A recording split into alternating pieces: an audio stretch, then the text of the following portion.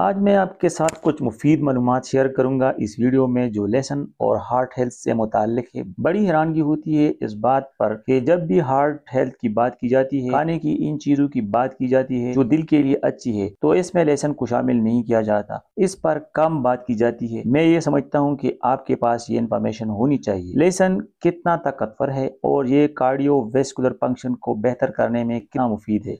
दिल की सेहत के लिए कितना अच्छा है, आज इस पर बात करूँगा और मैं आपको एक और बहुत ही सस्ती और आसान ड्रिंक की रेसिपी बताऊँगा, जैसे लेसन से बनाया जाता है। और आप इसे घर में भी बना सकते हैं। इस ड्रिंक के बारे में कुछ स्टडीज़ मेरी नज़र से गुजरी है, जिससे मैं आपसे इसके रिज़ल्ट पे बात करूँगा कि जब हाई ब्लड प्रेशर के मरीजों ने इस ड्रिंक को इस्तेमाल किया तो इसका असर ऐसा ही देखा गया, जैसे कि दूसरे ब्लड प्रेशर कम करने वाली दवाइयों का था। इन स्टडीज़ का लिंक इस वीडियो की डिस्क्रिप्शन में भी मौजूद है। लेकिन मैं समझता हूँ की ये लेसन का सिर्फ़ एक फ़ायदा है। लेसन इसके साथ साथ इसके बहुत ज़्यादा फ़ायदे रखते हैं। ये एंटी वायरल है। ज़्यादातर खांसी नजला जुकाम ये वायरल होता है। अगर आपको कुछ और अलामत ज़ाहिर होंगे तो या ऐसी अलामत ज़ाहिर होने लगे कि बीमारी की शुरुआत है तो आप फ़ौरन लेसन का इस्तेमाल कर ले। फिर ये एंटी फंगल है। अगर बॉडी में फंगल इन्फेक्शन मौजूद है या कैंडिडा इन्फेक्शन है, जबान पे वाइट सी फ़िल्म आ गई है तो लेसन का इस्तेमाल कर ले। क्योंकि लेसन बेहतरीन एंटी फंगल है, अक्सर एंटीबायोटिक राउंड के बाद फंगल इन्फेक्शन का रिस्क बढ़ जाता है। क्योंकि बॉडी के जो फ्रेंडली जरासीम है, गुड बैक्टीरिया ने इस फंगल के ग्रोथ को कंट्रोल में रखा होता है और एंटीबायोटिक्स अच्छे और बुरे जरासीम दोनों को मार देती है। तो ये एक साइड इफ़ेक्ट है तो उस वक्त अगर आप लेसन का इस्तेमाल करें तो ये बहुत अच्छा है। ये कैंडिडा को काउंटर करता है, जो फंगस की एक किस्म है। लेसन एंटीबैक्टीरियल भी है। ये कुदरत ने एक नेचुरल एंटीबायोटिक बनाई है हमारे लिए। ये बैक्टीरिया को मारता है। ये टीबी के लिए बहुत अच्छा है। इवन एच पाइलूरी, जो कि अल्सर की एक बहुत बड़ी वजह है, ये वर्म्स और पैरासाइट्स को मारता है। अगर मेरी वीडियो आप कुछ अरसे से देख रहे हैं तो आप ये ज़रूर जानते होंगे कि जिसम में इंसुलिन बड़े रहने की वजह से कौन से मसाइल जन्म लेते हैं। फैटी लेवर है और डायबिटीज़ है। मोटापा है और लेसन इतना पावरफुल है कि इन बीमारियों को सिर्फ़ इंसुलिन नॉर्मल करके ही डायरेक्टली सॉल्व कर सकता है। इंसुलिन रेजिस्टेंट का जो मसला है, जिसमें ब्लड में मौजूद शुगर सेल्स में जा ही नहीं पाती, जिसकी वजह से बाहर शुगर की जो कैपेसिटी है वो बढ़ जाती है। इंसुलिन काम करना बंद कर देती है तो लेसन इंसुलिन को नॉर्मल कर देता है सेल को ज़्यादा सेंसिटिव बना लेता है, जिससे ये न सिर्फ़ ब्लड प्रेशर नॉर्मल हो जाता है, बल्कि और भी दूसरी बीमारियाँ हैं, जैसे कि फैटी लेवर जो इंसुलिन ज़्यादा हो जाने की वजह से पैदा होती है,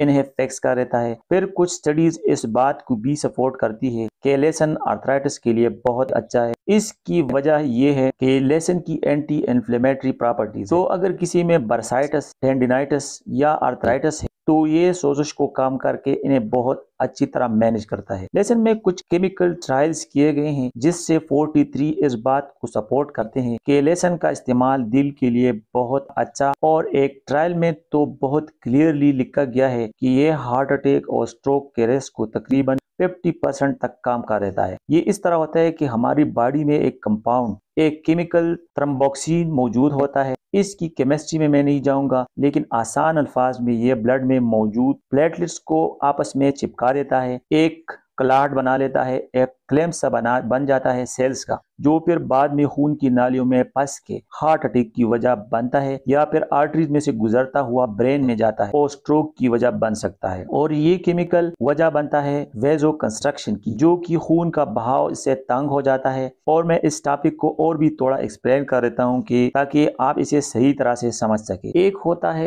अनस्टेबल इंजाइना अनस्टेबल इंजाइना में क्रोनी आर्टरीज ये चिपक जाती है स्पाज्म हो जाता है। वेजो सेप्टिक इंजाइना इसे कहते हैं। और इस तरह के इंजाइना में एक अनस्टेबल प्लाक का एक टुकड़ा होता है आर्टरीज में, जो मूव करता है और ये इजिली ब्रेकेबल होता है, टूट सकता है। खून की नालियों में फंस सकता है और हार्ट अटैक या स्ट्रोक की वजह बन सकता है। इसका दौरानिया तकरीबन 10 मिनट तक होता है और फिर सही हो जाता है। लेकिन ये आप ये दोबारा वापस आ सकता है। और इंजाइना की यह टाइप मोस्टली रात के वक्त होती है, जबकि जो स्टेबल इंजाइना है, ये भी प्लाक की वजह से होता है। इसमें जो प्लाक होता है, इसमें फाइब्रिस की एक केप होती है, जो प्रोटेक्टेड होता है। ज़्यादातर ये स्ट्रांग होता है, लेकिन ये भी इंजरी और एक्सरसाइज की वजह से टूट सकता है और ये खतरनाक हो सकता है। इसके कुछ रिस्क फैक्टर है, जिसकी वजह से ये हो सकता है, जिसमें स्मोकिंग एक है निकोटीन मोटापा डायबिटीज़ और इसमें बढ़ी हुई इंसुलिन और ब्लड शुगर इसकी वजह बनती है। क्योंकि खून की नालियाँ बहुत सख्त हो जाती है ब्लड प्रेशर एक और रेस्क फैक्टर है और हाई ब्लड प्रेशर होता है स्ट्रेस की वजह से। इंसुलिन रेजिस्टेंस एक वजह है, क्योंकि इसकी एक वजह से ये इन्फ्लेमेशन बढ़ जाती है आर्टरीज के अंदर।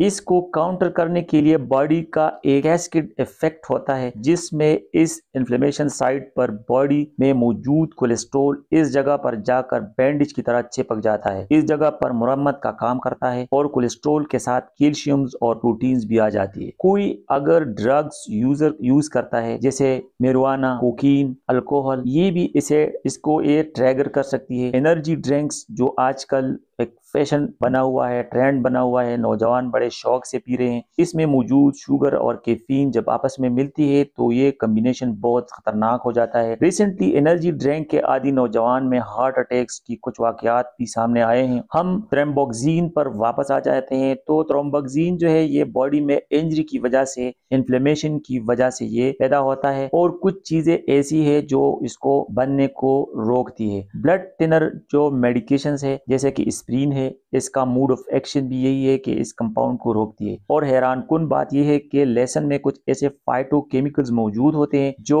नेचुरल इनहेबिटर्स है थ्रोम्बोक्सिन के। और ये definitely with no side effect extra virgin oil भी इस कंपाउंड को रोकता है। तो जब हम बात करते हैं कि लेसन किस तरह हार्ट अटैक और स्ट्रोक को रोक सकता है तो हम बात कर रहे हैं कि कैसे इस बात को यकीनी बनाया जाए कि ब्लड में क्लाट ना बने, खून गाढ़ा ना हो, अपनी असली हालत में रहे ब्लड प्रेशर ना बढ़े, खून की नालियों में सख्ती ना आए, फिर लेसन लिपेड्स और कोलेस्ट्रोल को बैलेंस करने में मदद करता है। वो इस तरह की ये बाइल को रेगुलेट करता है, ज़्यादा बाइल बनता है, जैसे इस बढ़े हुए कोलेस्ट्रोल को तोड़ के बॉडी में से बाहर निकालने में ये मदद मिलती है। क्योंकि ये माइक्रो माइक्रोबियल है वायरस फंगस और बैक्टीरिया को मारता है और ये एक कंडीशन है जिसे इन्फेक्टिव एंडोकार्डाइटिस कहते हैं। ये बैक्टीरिया की वजह से होने वाली इन्फेक्शन है, जो दिल में होती है और इस इन्फेक्शन की वजह से आर्टरीज में फंगल बायोफिल्म बनने लगती है प्लाक जमने लगता है। ये इसे रोकने में मदद करता है। ये एक और फ़ायदा है लेसन का। तो अब इन सारी बातों को समराइज करें तो लेसन खून को पतला करता है, जिससे क्लाड बनने का खतरा कम हो जाता है। ये एंटी माइक्रोबियल है। बैक्टीरिया वायरसेस को मार के इन्फेक्शन से बचाता है। ये हेल्प करता है बढ़े हुए कोलेस्ट्रोल को मोबिलाईज करने में। इसे बॉडी से बाहर निकालता है और लिपिड्स के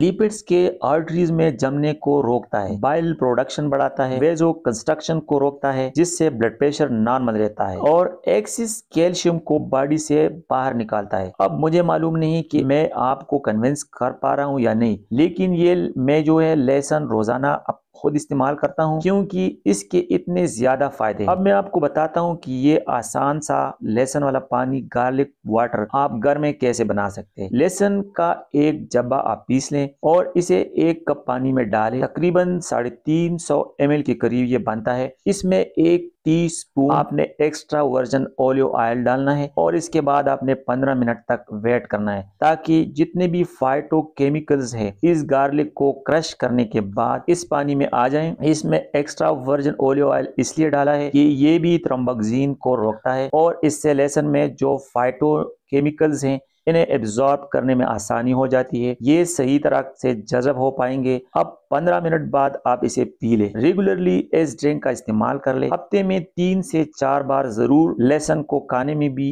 डालें या वैसे ही चबा सकते हैं। ये एक बेहतरीन सप्लीमेंट है और कोशिश करें इम्पोर्टेड लहसन की बजाय लोकल और देसी लहसन का इस्तेमाल कर ले। चाइना जो लहसन है, वो आप यूज़ ना करें क्योंकि इसमें सफेदी लाने के लिए एक्स्ट्रा जो ब्लीचिंग एजेंट्स का इस्तेमाल किया जाता है और क्लोरिनेटेड केमिकल्स इसमें डाले जाते हैं। या घर में आप खुद अपना ऑर्गेनिक लेसन उगाएँ, ये सबसे बेहतर है। तो ये है आसान सा गार्लिक वाटर। अगर मेरी इन वीडियो से आपको फ़ायदा हो रहा है तो इसे दूसरों के साथ भी शेयर कर लें। अपना ख्याल रखिए। आपसे मुलाकात होती है नेक्स्ट वीडियो में। अल्लाह